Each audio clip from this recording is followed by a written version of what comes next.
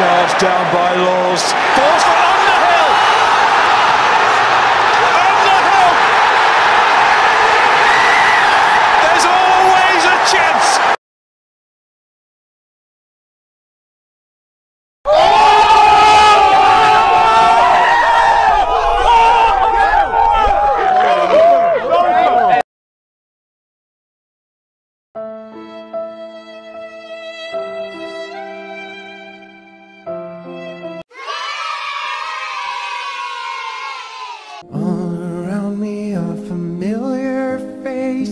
Worn out places, worn out faces.